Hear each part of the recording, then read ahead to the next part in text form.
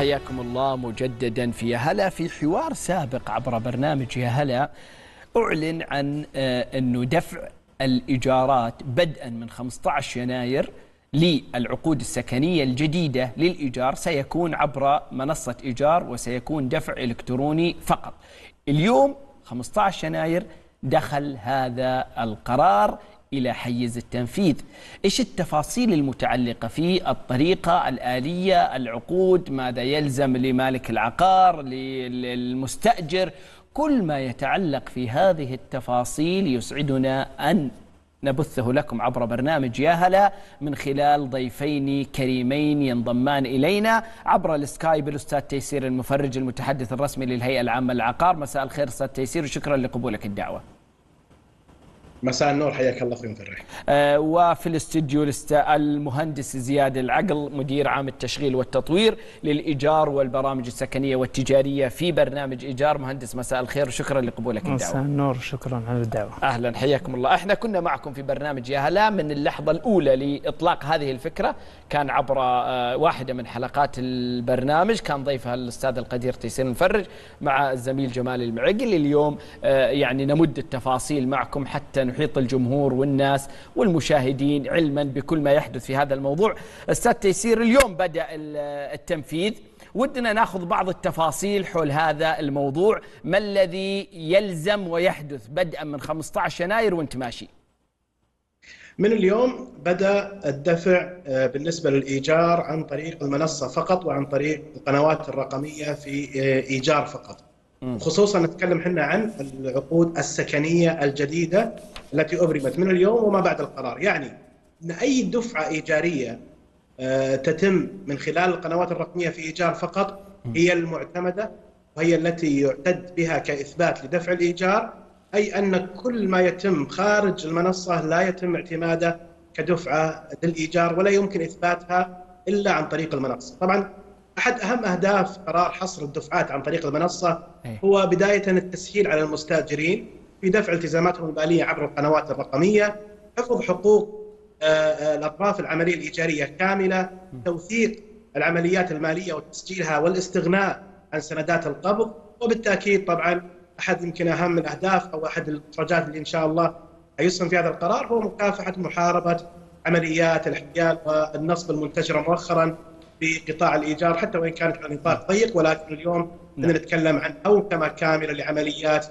آه، الإيجار عن طريق منصة واحدة. نعم أستاذ تيسير بس أبغى أوقف عند جملة أنت قلتها إنه أي عملية دفع تتم خارج المنصة الإلكترونية لا يعتد بها بمعنى. إنه اليوم لو صار اتفاق بين المستأجر ومالك الإيجار إنه تعال بعطيك فلوسك كاش ولا بحولها على حسابك ولا أي شيء ما ما تعتبر وثيقة تثبت إنه دفع الإيجار ولا ولا إنه لو عمل كذا حيكون عليه مخالفة لا يعتد بها يعني لو لو سمح الله أحد الأطراف آه، مثلا صار في نزاع واتجه إلى الجهات القضائية أي. الجهات القضائية لن تنظر إلى أي عقد إيجار تم خارج المنصة؟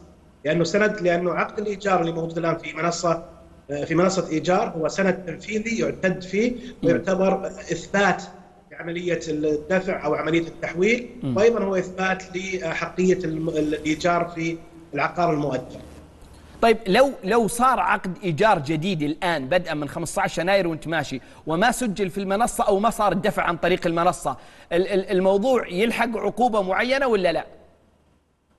إذا كان الوسيط فيها مخالف نعم. آه، ولكن إحنا نتكلم عن عدم وجود ما يثبت حقك كمستاجر وهذا اللي يهمنا. إنه اليوم هذه رسالة للمستاجر. حتى تثبت حقك في انك دفعت لصاحب العقار إيجارة أي. مهم جدا أن يكون دفعك عن طريق المنصة. غير المنصة لن يعتد فيه. اي لكن لكن إذا ما سجل في المنصة يعتبر مخالفة نظامية توجب عقوبة ولا لا؟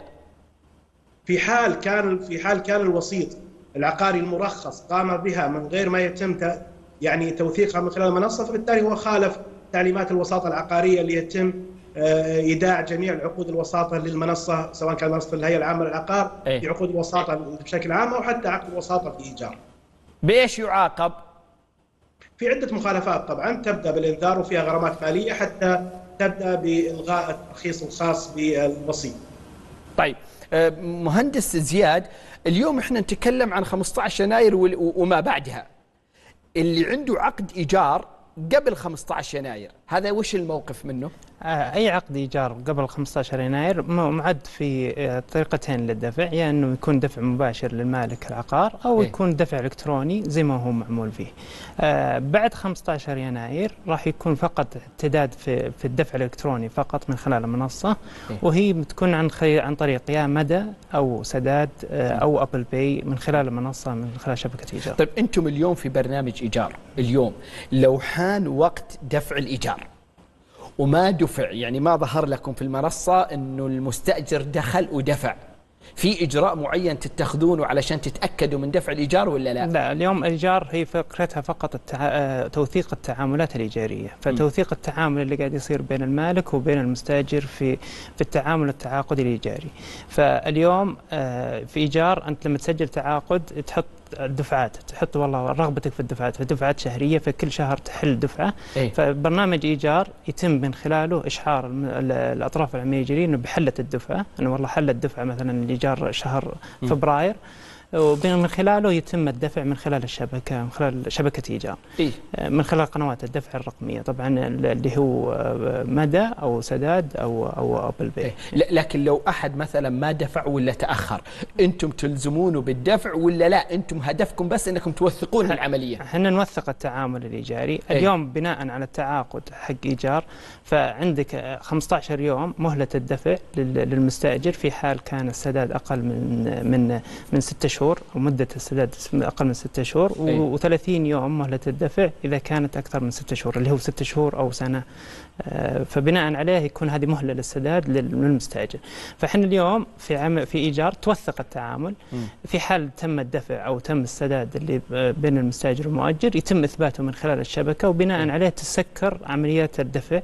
ومن خلالها برضو حتى لو بكرة صار في خلاف بين الطرفين أي. ما يقدر يرفع عليه قضية في حال تم إثبات نعم. السداد معلش مهندس نعيد مهل السداد كم؟ مهل السداد عندنا مهل السداد تنقسم نوعين آه، مهل السداد في العقود السكنية 15 آه، يوم لأي دفعات إيجارية أقل من 6 شهور أي. فإذا كان مثلا ثلاثة شهور شهري فيكون مهل السداد 15 يوم أما إذا كانت ستة شهور أو أكثر يعني ستة شهور أو سنوي فيكون مهلة السداد 30 يوم 30 يوم 30 يوم طيب لو عدت ال 15 أو ال 30 بعدها بعدها يحق للمالك العقار يعني لو صار خلاف بينهم ولا ولا سدد ولا اعطى مهلة إيه؟ يحق له يطالب فيها في المحاكم في, في محاكم التنفيذ.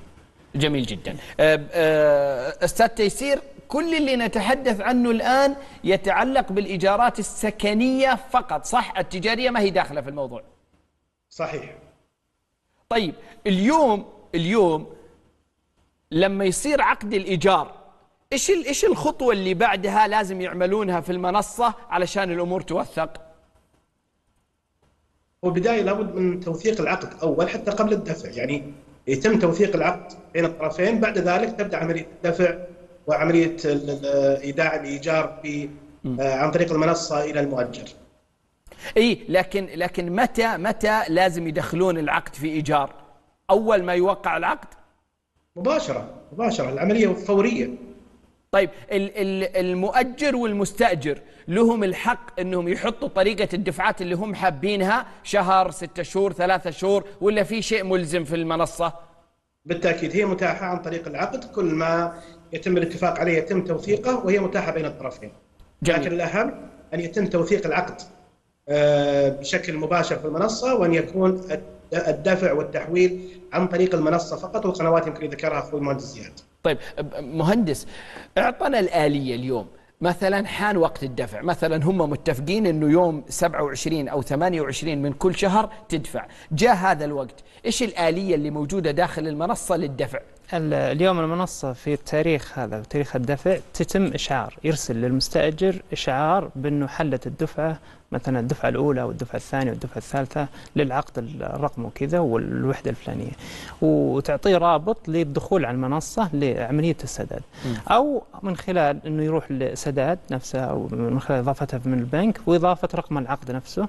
ويتم من خلاله الدفع من خلال طيب الشيء. يعني اليوم عندنا طريق يلقى أيقونات السداد ويسدد. الرابط يدخل على المنصة وبناء خلالها يقدر يدفع طيب على السداد أو يدخل على تطبيق البنك اللي هو يتعامل معه صحيح. يروح السداد صحيح. يحط كم رقم المفوتر 153 مفوتر إيجار. وتلقائيا بيطلع له كم المبلغ اللي يحط رقم العقد وعلى طول يطلع له الدفعات اللي حلت وال- وال- والفواتير المفتوحة الحين له اللي لابد يسددها. واضح. أستاذ تيسير في حال صار أي تعديلات على عقود الإيجار. مثلا في مبالغ الدفع الشهرية أو غيرها. لازم توثق عن طريق المنصة ولا لا؟ بيصير بالاتفاق بين المؤجر والمستأجر. بالتأكيد. كل التعاملات تتم عن طريق المنصة. طيب التعديل هذا في في آه، أنظمة معينة له في المنصة ولا مفتوح؟ ما لكم علاقة فيه؟ يعني في موضوع الأسعار وغيرها.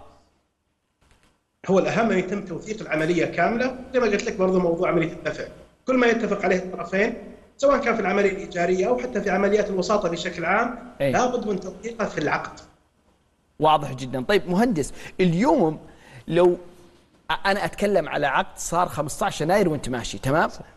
لو جاء المستأجر وقال لصاحب العقار إنه تعال هذا قسطك الشهري أو الثلاثة شهور خذه. ما سدد عن طريق المنصة. قال له خذه واعطاه كاش ولا حوله له على حسابه ولا غيره إيش إيش الموقف من الموضوع هذا اليوم بناء على التعاقد في إيجار إيه. معناه أنه عندك حل دفعة حالة ولا ولم تتم يتم دفعها. طيب. فبكرة ممكن هل مالك العقار؟ في غير نوايا غير هذا ممكن يقدر ينفذ عليه ويطالبه في الدفعة الإيجارية في حال عدم سدادها يعني الملام هنا راح يكون المستأجر. صحيح. واليوم المحاكم تعد في التعاقد الإيجاري فما يقدر ما يثبت ما في عملية إثبات إلا من من خلال الشبكة في إيجار طيب أستاذ تيسير أنت برأيك مين المستفيد الأكبر من هذه الفكرة اليوم؟ قطاع الإيجار العقاري بشكل عام كامل. بدنا نتكلم عن جميع الأطراف في العمليات الإيجارية العقارية. هذا القرار اليوم المنصة وكل الجهود اللي جالسة تتم لحوكمة العمل الإيجاري القطاع العقاري هي تزيد من الثقة في التعاملات آه، المالية في القطاع العقاري. هي ترفع مستوى الشفافية. هي خطوة مهمة جدا في عمليات آه، الاحتيال. هي آه، في مكافحة عملية الاحتيال.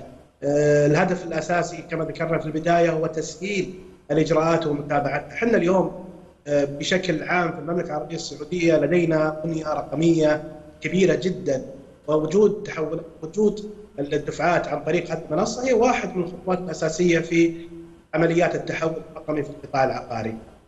ويمكن يعني إذا تتفق معي تعطي حتى أمان للمستأجر القادم إلى المملكة العربية السعودية، اليوم إحنا جالسين نستقطب يعني أشخاص من كل مكان على مستوى العالم على الصعيد العملي، على صعيد المشروعات الموجودة، فلما تكون في هذه المنصة الآمنة الحافظة للحقوق قد تكون حافز آمن أكثر للأشخاص اللي يتعاملون في هذا الموضوع إذا تتفق مع هذه النقطة.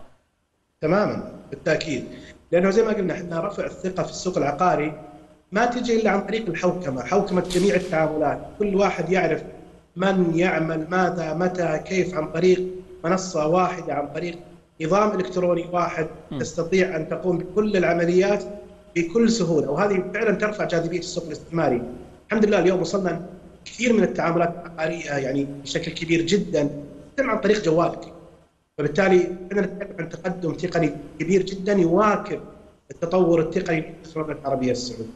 الحمد لله مهندس آه اليوم صار التحويل. طيب كيف كيف يحول المبلغ إلى المالك؟ آه، إحنا طبعا بشبكة إيجار من يوم ما يتم الدفع من خلال المنصة يتم تسوية الدفعات ومن خلالها الشبكة نفسها تقوم بإصدار سندات قبض بإثبات الدفع للمستأجر وبعدها على طول تقوم بتحويله مباشرة ل- لحساب المالك. إيش معنى إيش معنى نقوم بالتسوية؟ التسوية اليوم تسوية الدفعة إنه والله الفاتورة ال- ال- الأولى ال- وال- ال- والدفعة الأولى إيه. هذه تم تسويتها وتم دفعها طيب. وخلاص ونغلق الفاتورة بناء عليها ويحول المبلغ. وبيحول المبلغ على طول مباشرة لحساب المالك. هذا يعني إنه المالك أساسا لما يسجل في المنصة هو يحط رقم حسابه. صحيح. أول ما يتوثق التعاقد عندنا يسجل ابد أصلا واحدة من متطلبات العقد. ما تقدر تسجل عقد إلين يتم إدخال رقم أيبان وحساب بنك طيب قبل قبل ما أودعك وأختم هذا اللقاء تعرف الناس دائما عندها إشكالية وصل المبلغ ما وصل؟ يمكن التسديد عن طريق المنصة معقد أدخل ما يفتح لي الموقع ما ادري وشو وش تطمنهم من هذه الناحية سواء المدة الزمنية أو سهولة الإجراءات آه، اليوم أسهل إجراء موجود هو إيه. الإجراء اللي موجود في المنصة إثبات دفع وحفظ لحقوق الاطراف الثانية الاثنين العملية الايجاريه اليوم يتأكد المستاجر إنه دفع فعلا الدفعه واغلقت ما عاد يطالب لا يلاحق وراء المالك اصدر لي سند قبض اثبت لي الدفعة ما اثبت لي الدفعة هذه كلها راح تستغنى عنها. وبنفس الوقت المالك حافظ حقه إنه جت الدفعة في الوقت المعين. وبرضه حتى يسهل على المالك اليوم متابعة عقاراته. اليوم أنت عندك عمارة 10 10 شقق 15 شقة خلاص أنت العمارة دي فيها عقود إيجار مسجلة أبد تدخل في الشبكة تشوف تأكد من اللي دفع من ما دفع. فما يبي لها آليتها مرة بسيطة بالنسبة طيب, طيب أخيرا أنت اللي سددت الآن إيش إيش الوثيقة اللي تثبت حقك؟ يعني بس في, في شيء جوا الموقع ولا يجيك رابط ولا يجي يجيك سند ولا إيش بالضبط؟ على طول من يوم ما يتم الدفع. على طول تتم اشعار من الشبكة يطلع يرجيك رسالة إنه إيه؟ ترى تم تسداد الدفعة وتم قبض الدفعة من من المستاجر الفلاني وأيضا يشعر المالك العقار ترى تم سداد الدفعة وراح إيه؟ يتم تحويل المبلغ نعم هذه الرسالة تعد وثيقة لو صار أي نزاع قانوني في المستقبل الرسالة هذه تعد وثيقة أيضا برضو حتى في الشبكة عندنا الدفعة نفسها أي؟ في كل مستأجر عنده جدول دفعات فجدول الدفعات هذا كله بيغلق ويصدر له سندات قبض أوتوماتيك طيب من الشبكه اللي قبل 15 يناير مستأجر من سنة سنتين 10 20 اللي غيرها وحاب إنه يدخل في فكرة الدفع الإلكتروني إيش لازم يسوي؟ اليوم كل العقود في الشبكة أي عقد مسجل في الشبكة وساري يستطيع الدفع الإلكتروني. واللي ما هو مسجل؟ اللي مو مسجل في الشبكة؟ أي. لا أي أي شيء خارج الشبكة لا يعني يقدر يسجله؟ يقدر يسجله في الشبكة ويقدر سواء له 10 ولا 50 سنة؟ صحيح. يقدر يسجله. صحيح إيه. مهندس شكرا جزيلا لك ولحضورك معنا في هلا أستاذ تيسير قبل ما أختم معك الكلمة الأخيرة عندك إيش الرسالة اللي حاب توصلها من خلال هذا الموضوع باسم الهيئة العامة للعقار لكل اللي جالس يسمع ويشاهد هذه الفقرة؟ الوعي يحميك. دائما وعيك يحميك وعيك بالأنظمة وعيك بالتشريعات. وعيك بكل الأساليب اللي موجودة الهيئه العامه للعقار وشركائها من القطاع الحكومي والقطاع الخاص وحتى وسائل الإعلام تبذل جهد كبير جدا لإيصال معلومات وإيصال الإرشادات لكل ما يتعلق بالعمليات الإيجارية. رسالتنا اليوم للجميع التشريعات العقارية تحمي وتعطي السوق العقاري ثقة وجاذبية والجميع معنا اليوم شركاء بهذا الجهد اللي يوصلنا إلى قطاع عقاري متميز وموثوق. أستاذ تيسير شكرا جزيلا لك ولحضورك معنا في هلا الشكر للمهندس زياد العقل. والشكر للأستاذ تيسير المفرج. وقبل ما أروح الفاصل لازم من باب الحق والعدل والإنصاف أشكر الهيئة العامة للعقار على هذا التجاوب النبيل والجيد والجميل مع برنامج يا هلا. يمكن هذا ما هو اللقاء الأول. حقيقة أنه مد جسور هذا التعاون ما بين الجهة والإعلام يفرق معنا كثير يهمنا في توضيح كثير من الصورة والمشهد يجيب على أسئلة واستفسار الناس والمشاهدين. المشاهدين والمتعاملين جميعا في كل ما يخص الهيئة العامة للعقار. أخص بالشكر للأستاذ تيسير المفرج وكل الفريق العامل معه في العلاقات والإعلام اليوم على هذا التسهيل الجميل لأنه هو الغاية المنشودة في التعاون والتكامل والتواصل ما بين الجهة المسؤولة وما بين الإعلام ويا ليت الكل يقتدي بمثل هذا الموضوع حتى نستطيع أن نقدم في المشهد الإعلامي اليوم صورة واضحة وإجابات واضحة عن كل الاستفسارات. بنروح إلى فاصل ثاني في حلقتنا وبعد مكملين